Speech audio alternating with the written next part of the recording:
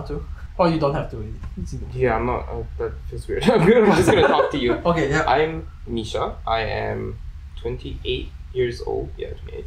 Um, Singaporean born. Uh, grew up a little bit here and there, like Malaysia, but eventually came back here in 2009 and have been here ever since. When I first knew you, you were still, uh, were, were you still, uh, man, I'm trying to find words. This is my first. What did you identify as? Yes, what did you I- identify as when we first met? I am so Uh, good at this. It's okay, I can help. Uh, I don't know. I, I, I, I think I was non-binary already, but I, I was just non-binary. I didn't know anything beyond that. I didn't see it. Even if I did the research, I didn't. I didn't like see things online and be like, "Huh, you know, I identify with that." I didn't. I always thought my thing was different. yes. So I had uh, body dysmorphia for a long time. So when I looked at my reflection or I looked picture pictures of myself, even from like very young age, uh, I hated it and I didn't like it, and I felt like a strong disconnect, and it just looked wrong to me. Right. It even scared me uh, when I was young. Whenever people tried to take pictures of me, I'd run away. Oh, okay. yeah, and when they did successfully have like photos of me, I'd like try and tear it up. Right. I didn't. There was there's lots of gender dysphoria, but I didn't realize what it was until much, you know, much much later. leading towards the normalization of homosexuality in our society, from changes to sexuality education in schools to more liberal media portrayals, and eventually the legalization of same sex marriage. Third, many, especially those from the younger age groups, are concerned that as the societal narrative shifts, they will find it harder to freely express their own beliefs without being labeled as homophobic. They worry about getting cancelled or suffering discrimination in school or at the workplace because of their beliefs. I accept the importance that many Singaporeans place on their elected MPs' positions on these bills, to the extent that it will be a factor in their decisions at the polls. However, I hope Singaporeans will consider the broader issues at hand. There are too many important issues that affect the lives of Singaporeans for one's vote to be decided based on this single issue. This has been one of the most difficult speeches to prepare. I was worried I might come across as prejudiced against members of the LGBT community. Hand on heart, I'm not. LGBT persons are, are, are human beings worthy of the same amount of love and respect that we accord to any other person. Disagreeing with LGBT positions is not an attack on LGBT persons. In fact, I hope that my speech will open up a platform for more difficult but respectful conversations on this issue. However, we must recognize that LGBT issues are sensitive issues, just like race and religion. People who subscribe to one faith do not force their beliefs on others. Religious beliefs are also not taught as facts in our school curriculum that students are expected to accept without question. Similarly, we should treat LGBT issues as sensitive topics, just like religion. We should not force people to accept one view or another, with the risk of being labeled as bigoted or immoral. Mr. Deputy Speaker, I will vote against the Penal Code Amendment Bill and vote for the Constitutional Amendment Bill.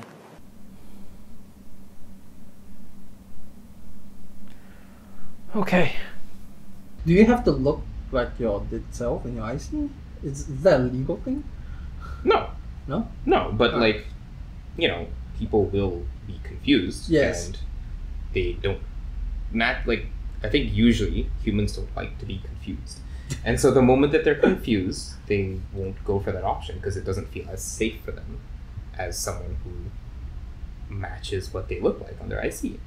And then beyond that, like, you know, even if I pass, especially during the glorious COVID times, don't get me wrong, you know, COVID is terrible and I'm very sad and depressed about Yes. COVID like any human being would be. Yes.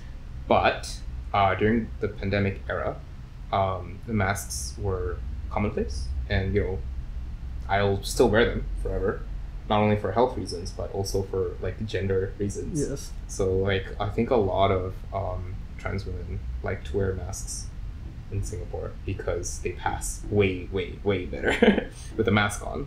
Is is that true? Yeah, Yeah, Oh, because okay. like a lot of masculine features for a lot of trans women are like, you know, Oh, the jawline. the jawline, The, the the things that you can't like, change from you know, the bone. mustache, Yeah. like the shadow, whatever. Right, right. You know, if I speak, people like it doesn't matter where the hell I am.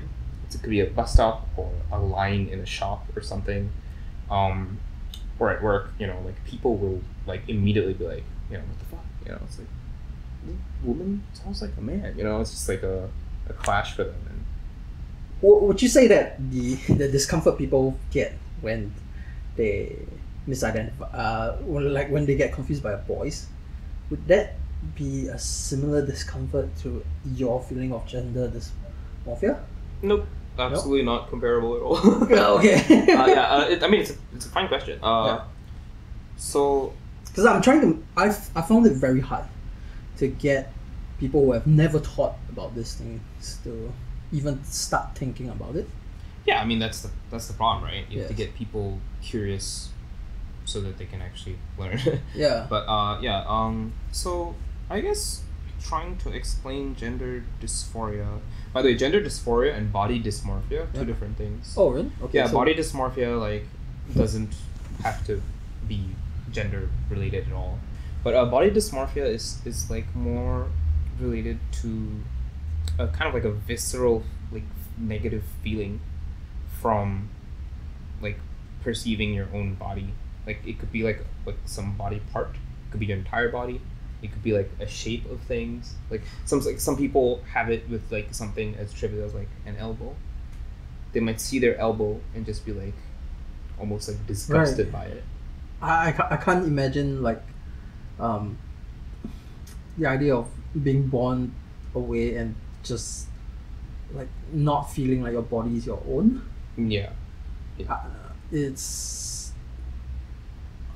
it's a bit mind blowing. Yeah, no, it is it is weird. Yes. Um, if you've ever watched a David Lynch movie, Yeah. uh, I would think that it's kind of like that. Like I have that feeling of like this is like a fever dream. You know, this is just like upsetting and like surreal in a disgusting way. like like I think somehow uh, it's it's like that for for a lot of people. Right. Dr. Tan Yia Swam. Mr. Speaker, I speak to you now as a doctor and as a mother of boys. In my time, tomboyish girls and effeminate boys were given mocking and even derogatory names. For those of us who are lucky to never be confused as to whether you like a boy or girl, it was already not easy. For those who felt an attraction to someone of the same gender, I can only imagine the fear and anxiety fear that there's something wrong with you, that your parents will disown you, that your friends will call you a freak. For those people facing conflicts and stress, there must be safe havens for them to seek fair and balanced counseling without undue influence. In the school, I urge the Ministry of Education to review the sex education component to ensure that it is based on science and facts, while controversial opinions and trends are clearly stated as such. To fellow parents, if you, like me, grew up without any knowledge of LGBT terms, let us educate ourselves. What is hetero, homo, pan, or asexual? What is trans or cisgender? What is a sexual orientation versus gender identity? Only then are we equipped to guide our children as they grow and explore. Is there a right way and a wrong way to ask questions? Probably, uh, I wouldn't know. Yeah. I wouldn't know. I'm someone who who, who kind of just asks questions. Uh, I'm pretty, right. I'm Uh, pretty on, bad. on a scale of one to one to ten, how how bad have I been doing in asking questions today? Like I don't 10, know. 10 being good and one being like dog like a six or seven. Six or seven, yeah. I mean, I don't expect much. Right. You know, like you're a Singaporean. Yeah, but And- at the same time, like I'm a Singaporean who, ha- who has been exposed to the community to some extent. To some extent. Yeah. Uh, but you. So if, if like if I'm a six or seven, then but you're not in in as you Yeah. stated. You're not in in queer circles in real life, and that actually really changes things. yes, right as, as, as someone who grew up online and has spent like gazillions of hours online both socializing and, and like playing games and all that stuff socializing online. i will say yes offline. i will say that you, you miss a lot Right. if not if you're not socializing in real life, and that applies even more if you're if you're trying to learn about like minorities or just like any group that isn't the majority, Right. right? Because you they interact in a in a very different way from like cishet society.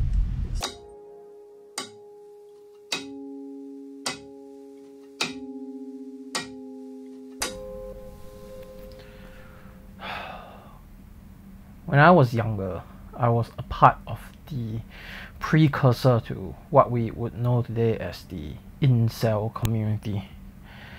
And, you know, single, fat, ugly guy, prime target for that kind of craziness. And if you've never heard of incel,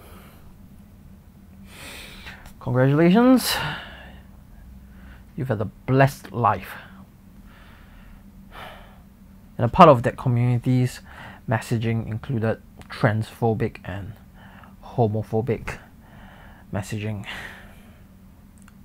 I was only in it for about a year, but it took me five years to wash off that stench from my body. It's not really something I like talking about. I spent like the next decade learning about cult and extremism and all that nonsense to prevent myself and other people from falling into it. I guess I was trying to make up for some of the terrible things I believed in during that time. If you went back like through the internet and you know what you're looking for, you can find some really horrible things I said. it, it, it's hard for, for for someone who says like me who also wants to you know uh, be an ally to be supportive it's hard to find a like where am I allowed in you know um, Yeah. yeah 'cause Yeah, yeah, I- I can for, for you guys It'd it's it'd like a uh, it's like a safe space it's for you guys to feel comfortable Yeah, yeah, yeah. not So so yeah.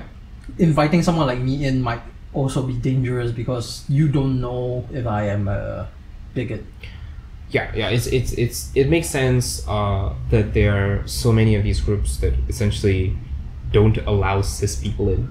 Yes. Uh, it, it does become a problem yes because because then it's know, like I, allies- then I, I don't know how to help. Allies can't can't learn more. Yes. And you know they can't like integrate. But I, you know obviously you can't play them right? Like it's, Yeah. it's, it's, it's a it's a bit it's a bit of an issue. Um, there are lots of there are cases, safety yeah there are safety yeah there are lots of cases where like someone might get doxxed you know like their real life might get totally doxxed because you know like us like a cishet person was in a group and you know they claim Yeah. to be an ally but then Yes. turns out that they're an asshole Yes. it happens Parliament last debated whether or not to repeal Section 377A in 2007. MPs expressed strong views on both sides. I joined in the debate to advise restraint and caution. I acknowledge that what consenting adults do in private is their personal affair, and the government should not intervene. But I pointed out that not everyone was equally accepting of homosexuality.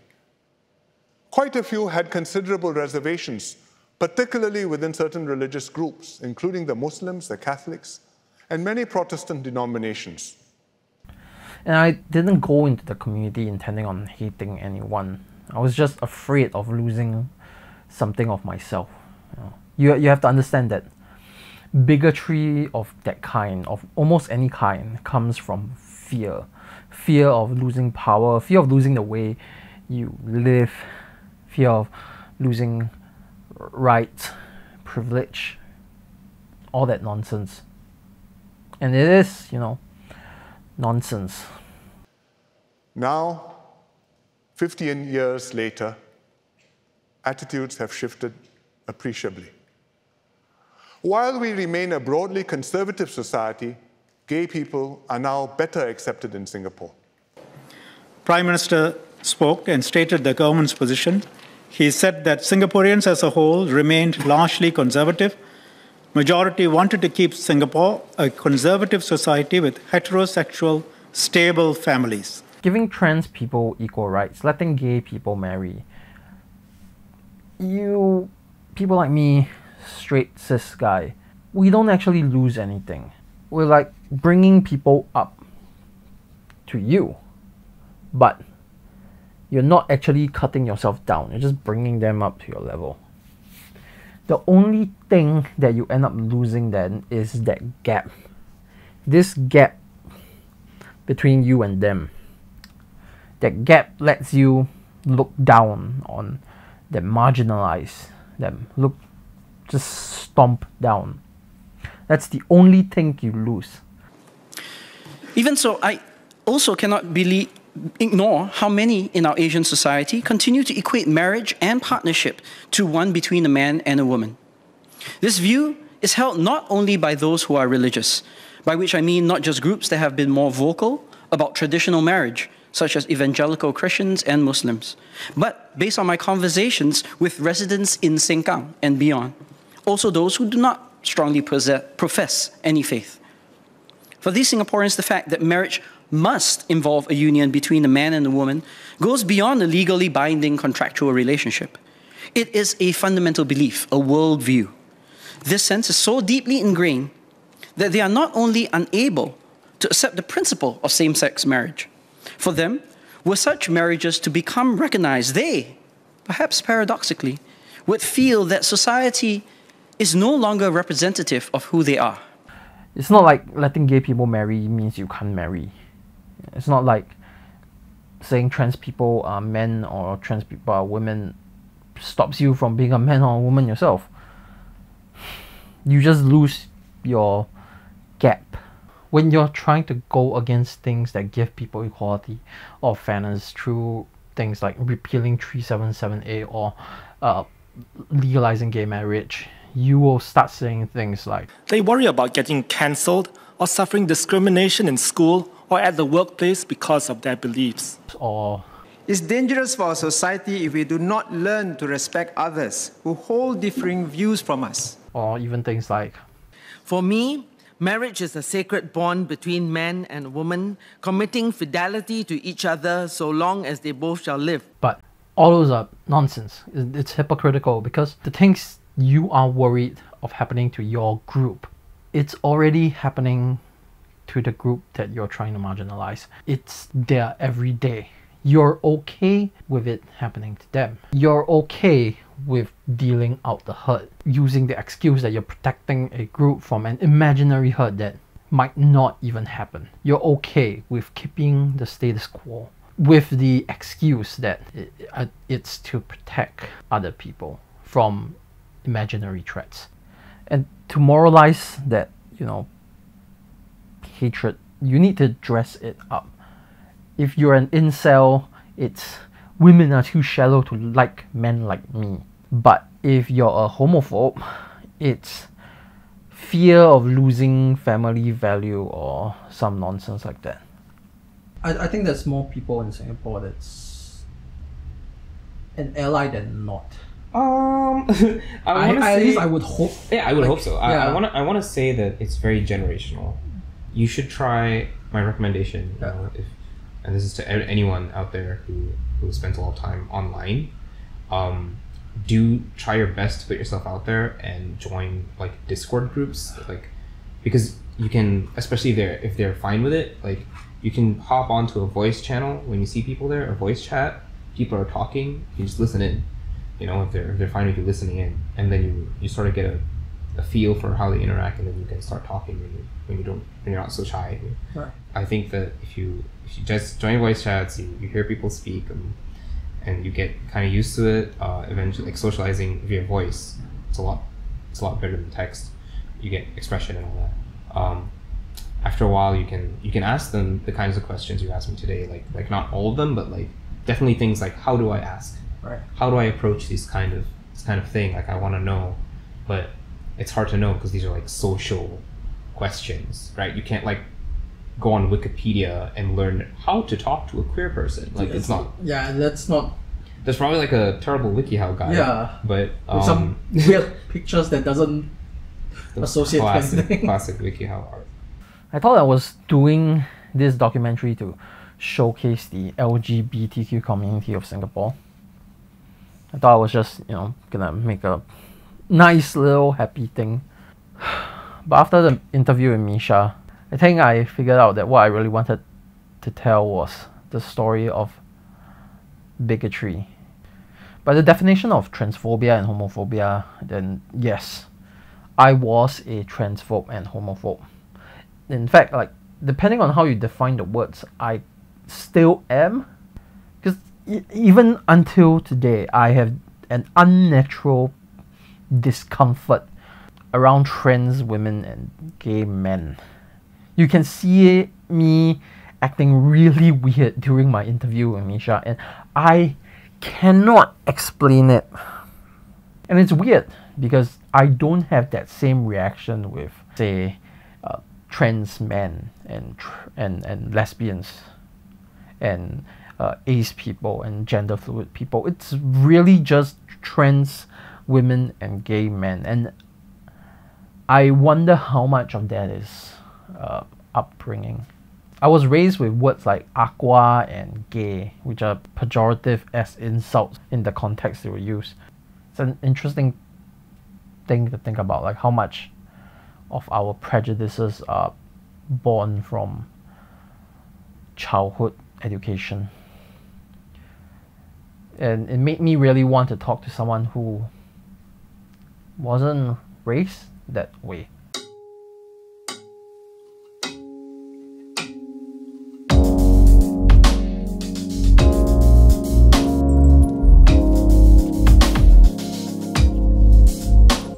Hello. uh, your father told me that you made a very interesting piece of art. Do you mind telling us what it is? Um, my full name is Tamina, but it's very hard for a lot of people to say. So Tahmi. So in fifth grade we had exhibition and we got to choose a subject and I chose homophobia. For that we had to make an artwork. Well, I did a little bit of research and I found out that I think it was like 200 LGBTQ teens every year have suicide, like try suicide so I made a painting which was a gray background with a bunch of words that they might think might be thinking like does my parents not love me? Would my siblings not love me? Am i making the wrong choice? And i put 200 different colored lotus flowers on it out of origami paper. So i had some reds some oranges some yellows some greens some blues some purples and i put them in a rainbow and it was yeah. What do you think of the LGBTQ community? Yes. I think it's very broad and people should be allowed to be whatever they want to, do whatever they want to, except for if it's like murdering and killing. um, I think we shouldn't see any diff like we shouldn't look at a person any differently if they tell us that they're gay or that they're trans or that they non-binary. We should just see oh okay cool. Thank you for trusting me. Do you think that um, us adults are really stupid for not just letting them be who they are? sometimes Was there was there a problem? Or was there issues coming up for you, or with your family at least? I was on a on a campaign, on a very very long term mission, uh, to to make it sound as bad as possible, to manipulate my mom, uh, into becoming more open minded. Wow. Okay. yeah, I started uh, when I was thirteen or fourteen, and uh, I guess I stopped a few years ago, like three or four years ago, uh, pretty much because I reached my goals. so now she thinks for herself more often. Um, when she hears news, she doesn't just like subscribe to it. She, there's a chance that when people tell her things that sound weird, She'll stop she will actually Google it. Right. like, very impressive. You know, she's like 70 or something. It's easier to be cis and it's easier to be queer in the, the younger generation. Um, that's because they're less constrained by, you know, their their parents' upbringing and all that stuff. And, and you know, like with our parents' generation, right, like the difference is massive culturally. Yeah. If there's anything you can say to the people who are homophobes and transphobes right now? What would you want to Um, say to them? look at just because they're different and maybe a little special or they might look or act different doesn't necessarily mean that they're not human. They're just as human as you. And get to know them a little bit. Um, go to them with a little bit of an open mind. Try to know them. Try to understand a little bit. And once you try doing that, that's all I can ask from you. Do you have anything you want to say to uh, people of the LGBT community? No matter what anyone else thinks, you shouldn't care because all you should care about is how you feel and if you're happy with how you are. If you're happy with your sexuality, if you're happy with your hair, your clothes, whatever, don't change it. Stay like that. Even if someone says, oh, you're weird, stay like that. Unless the quote is like you haven't showered and Then maybe shower. This was where the video was originally supposed to end. But I'm still here standing in front of my wall of sadness, so you know that's not happening. This video was not originally supposed to include me. It started with me wanting to showcase the lives of the LGBTQ community in Singapore. There were three other entities that I reached out to to participate in this video, but they all declined in the end. They were worried to show their support of LGBTQ issues in public. My goal with this video and my previous documentary is to feature regular people living everyday lives with these issues. These people I interviewed, they are not businessmen or politicians. Sometimes I get lucky enough and I maybe get an expert, but they don't have profit margins or political agendas. They're just people you see on the street or online, like you like me. And they're afraid. They are afraid that being public about their support of LGBTQ issues will lose them financial aid from the government. They are afraid that revealing who they are will jeopardize their careers, their livelihood, that they might be fired, targeted, that they might not be allowed to go to school, that they might end up on the streets, kicked out of homes. Even if all those things aren't actually true, it doesn't matter because to people living their lives right now, it feels like they are. I could have reached out to other entities to pad out the timeline in this video like Pink Dot. I'm sure they would have been more than happy to participate, but I think the lack of people on screen speaks better for itself. Also, I was a little lazy. There are no laws against the expression of support of LGBTQ people in Singapore, but that doesn't matter because it feels like there are. Legally, there can't be repercussion for taking a public stance on this topic, but that doesn't matter because it feels like there will be. This is what it means to feel unsafe to come out of the closet. Just because it's legal to do so doesn't mean it's safe. Even if you're Gerald Giam saying, hand on heart, I'm not a bigot, it doesn't matter. Because what you say and the ideas you're promoting aren't matching up. So it just feels like a lie. But you know what's not a lie? That there are people being hurt by our intolerant decisions. This video wasn't supposed to include me, and one day, hopefully, it won't have to.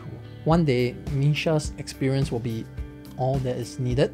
One day, Tahmi's optimism will be the perfect ending.